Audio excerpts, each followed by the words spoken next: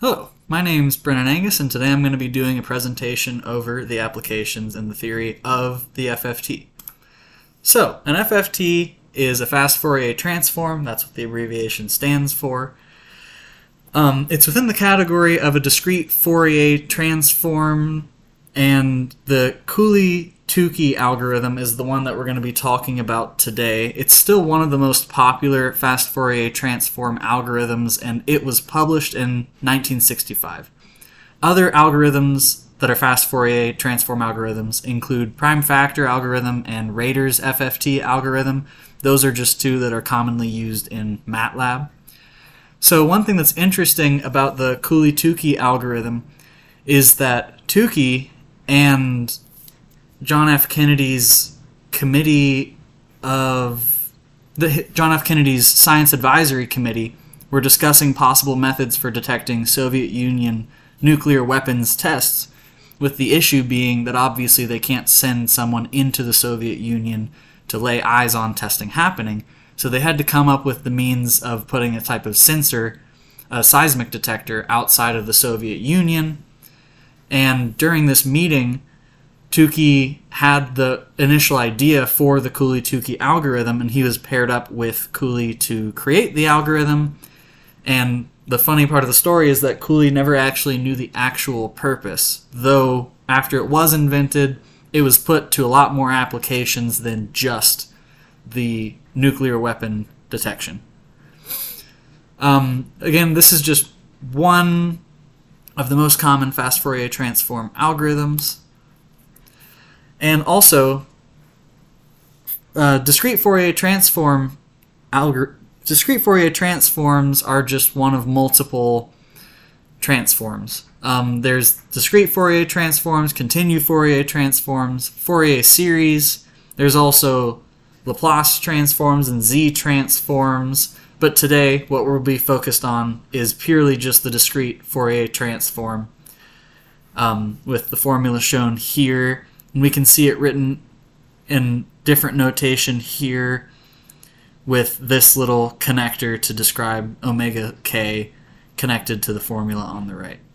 And as we can see, it's common notation that capital N represents the number of samples in a unit that's used in the Fourier transform, and I'll be sticking with that notation today. So, to get into the fast Fourier transform, we need to do just a bit of complex number review. This is our formula just rewritten here, and any complex number with a magnitude of 1 can be written as e to the power of j theta, where j is the square root of negative 1. And e to the j theta equals sine theta plus j cosine theta. Again, the magnitude is 1. And it's periodic with period 2 pi, just like sine and cosine always are. And we can see what e to the j theta looks like here. It just traces out a unit circle counterclockwise as theta increases. And we're still using capital N for a period. And I'm using capital M to describe any generic integer. So we also have W sub n, which is common notation for e to the negative j 2 pi over n power. And we can see that for whatever subscript w has, it just breaks up the unit circle into that many chunks. So w sub 4 would be on each of these four points where the axes meet the circle. So, again, before there was the fast Fourier transform, there was just the plain original discrete Fourier transform. So a couple examples here. We have a two-point DFT where I went ahead and just did the direct method to get these results here. And then a four-point is very similar. It's just a longer summation over four points. And we are left with four equations. And this leaves us with a matrix of our results equaling this matrix we made from these times our input values. But it might be hard to tell what this pattern actually is, but what it is is it's tracing out the unit circle counterclockwise. Um, by powers of 1, going a quarter of the circle at a time, by powers of 2, and by powers of 3, which is harder to understand until we look at the generic form, which shows us. This is w sub m for any integer m like we saw earlier. And the first row just moves by powers of 1, the second row by powers of 2, and on. And the important takeaway of the brute force method is that the runtime is O of m squared, where m is the dimension of these matrices. And it's O of m squared because that's the runtime for multiplying a square matrix by a column vector. And we can also tell by looking at this matrix that there are going to be lots of points that have the same value at different places in the matrix that we're doing multiple calculations on, which seems inefficient because it is. So now, on to the actual star of the show, the Cooley-Tukey algorithm. First, a few assumptions. Um, a common assumption is that n, the number of our period, is two is a power of two, or just any generic highly composite number, but by far making it a power of two is the most common assumption.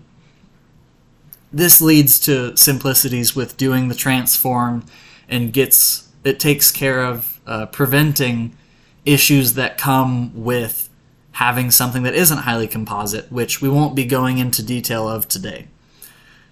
And also that the signal is periodic with in samples.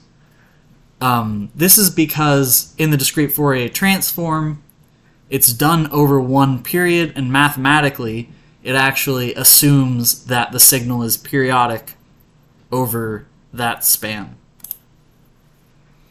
So here we can see the original formula where n is a highly composite number, or in this case just any composite number, r1 times r2. And this, on this whiteboard here, is directly how it was described in the original documentation of the Cooley-Tukey algorithm. I added a few more details just for better understanding, but all of the math comes directly from their original documentation, while variations, of course, have been made since the 1965 publication. So n is a composite number, and then we make uh, our lowercase n value equal n1 r1 plus n naught with this range of n naught and this range of n1 and we do something similar with our k value, excuse me, while these are the inputs to our original function, k is, and our transform function, um, n is the input there. So these formulas are quite confusing at first glance, trying to think of how they come up with them or how it makes any sense. But if we remember that n equals r1 times r2, meaning that our maximum value is R1, R2 minus 1, we can check this against these formulas and take our n value, make it our maximum that we're calculating. It's going to equal the maximum of our n1 times our constant r1 value because it only has 1, plus our maximum n naught value. And if we do those computations using r sub 1 minus 1 and r sub 2 minus 1, we do see that the maximum value matches what we expect it to be based purely on capital N. And the same goes for k here. So, if we put in those substitutions, we have a function of n1 and n0, and this is the series that it gives us. So let's notice real quickly that we have a series inside of another series with R1 addends on the inside and R2 addends on the outside. So that means we're adding up R1 terms or addends and doing that R2 times, which again matches our total number of addends being R1 times R2. And f is a function of k1 and k0, and this is how our W sub n gets broken down, given that it's n times k, with k being k1r2 plus k0. We can just split it up because exponents adding translates to the bases, or the whole unit with the exponents multiplying. To simplify this further, we use the fact that w sub n raised to the power of lowercase n k1 r2 equals w sub n equaling lowercase n naught k1 r2. This is a provable property of complex numbers that was just directly given in the original documentation, but we're, we don't need to go into detail about the complex arithmetic that is behind that. So with that substitution, the inner sum k1 can be defined as an array. And we can simplify this series excluding this outside w sub n factor to be f sub 1 of n naught and k naught. This is just the series over k1, f k1, k0, w sub n raised to the n naught k1 r2 power. And that's made different from this through knowing that these two are equal because of some complex number properties that we're taking advantage of behind the scenes. So, if we take that substitution and plug it back into our original formula, where our inner series is made to be f1, we multiply by w sub n to the original powers. Again, I just add these because the bases are multiplying. So we're multiplying it by the original and taking away the power to which it was raised on the inside. Because now that we have f sub 1 already in here, that factor is in here, I tacked on the original factor and I have to get rid of what this already has inside of it, so it's not extra. And when we plug that all the way through, we end up back at a form of the original computation with omega sub n to the power of n1 r1 plus m0 times k. What's important to note about this is that there are n elements in f1, with each requiring r1 operations so the total number of operations required for the computation is n times r sub 1. And n, n times r sub 2 operations are needed for f, calculated from f1, meaning that the period for computation equals n, our number of elements, times r1 plus r2. That's the total number of operations, excuse me, where r1 and r2 are any factors that multiply to our overall period.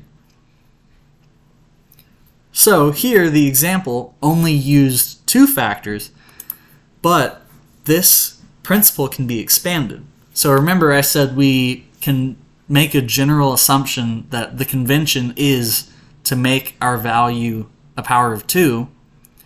So in most cases, these different r values, however, however many there may be, will be 2. So, when n equals the product of all of these r values, the time it takes will be proportional to the sum of those factors.